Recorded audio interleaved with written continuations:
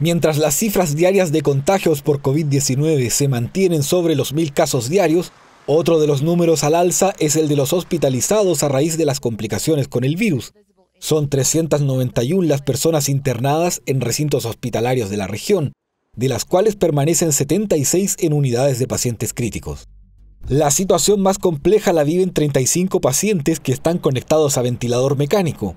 La cantidad de personas internadas a causa del COVID-19 se ha incrementado de manera sostenida desde mediados de febrero. Desde el 14 de ese mes, en que se registraban 317 hospitalizados, la cifra no ha dejado de ascender.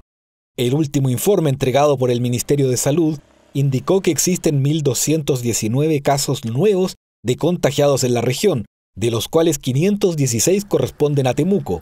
La cantidad de casos reportados en Villarrica sigue siendo la segunda más alta de la Araucanía, con 105 personas afectadas.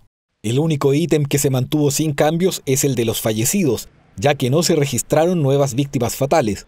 A la fecha, son 1.715 las personas que han fallecido a causa del COVID-19 en la región.